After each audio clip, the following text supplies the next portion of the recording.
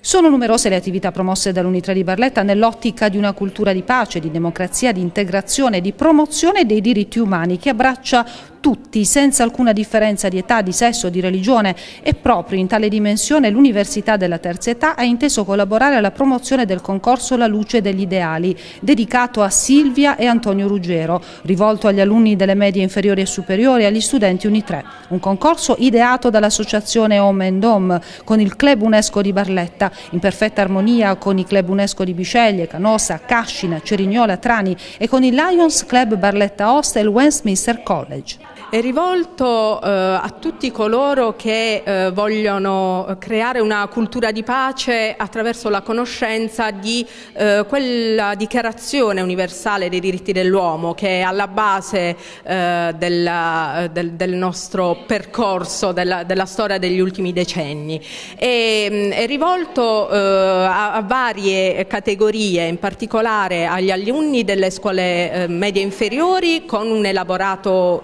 grafico grafico, mentre eh, gli allievi del, delle scuole medie superiori dovranno eh, creare un, uh, un, elaborato di tipo multimediale eh, più, più, vicino quindi al loro modo di esprimersi oggi e eh, gli allievi dell'Università della Terza Età invece dovranno creare un, uh, un componimento in versi. Ecco, ricordiamo che con il concorso si intende anche ricordare eh, la coppia, la famosa coppia Silvia Agliaci e Antonio Ruggero, i tuoi genitori che tanto hanno fatto in questa direzione.